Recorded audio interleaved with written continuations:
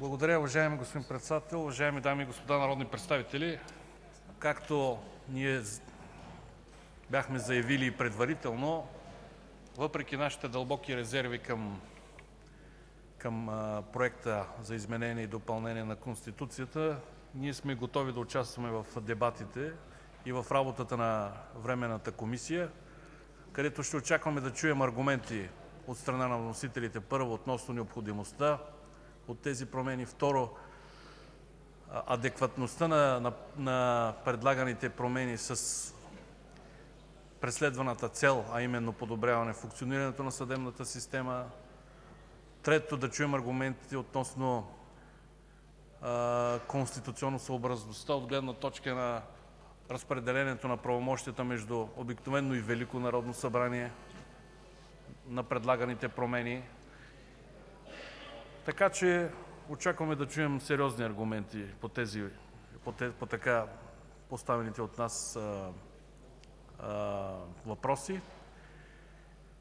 Аз обаче искам да направя едно предложение именно с оглед на анонса, който беше направен от господин Цветанов – да се постигне максимално широко съгласие между политическите сили по този проект. Ако искаме да търсим такъв консенсус, то това трябва да бъде закрепено и в статута на тази Комисия – статутът, който се дефинира в това решение.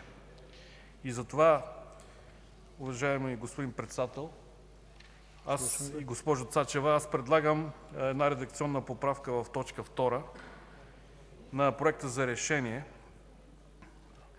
където се говори за начина и процедурата на вземане на решения на Комисията и приемането на доклади и становища. В момента вносителят предлага тези решения, доклади и становища да се приемат с обикновено мнозинство от присъстващите народни представители.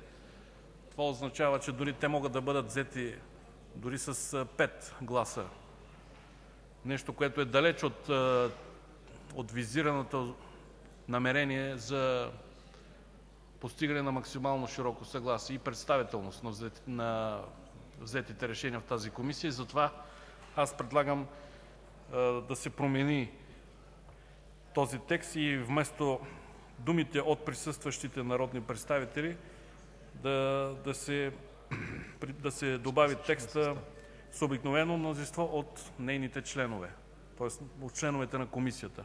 От списъчния състав? ДОКЛАДЧИК ДИМИТЪР ГРЕКОВ: Да, от членовете на Комисията, от общия брой членове на Комисията. Така ще е ясно, че всички решения, становища и доклади на Комисията ще се приемат с един минимум представители на парламентарните групи и на политическите сили, който да гарантира широкото съгласие, за което всички ние говорим. Благодаря. ПРЕДСЕДАТЕЛ ИВАН К. ИВАНОВ: Благодаря. Само да предложите евентуално членове или идея за заместник-председатели. ДОКЛАДЧИК ТУНЧЕР КЪРДЖАЛИЕВ: Ще предложи нашите. Добре. Благодаря Ви за изказването. Реплики?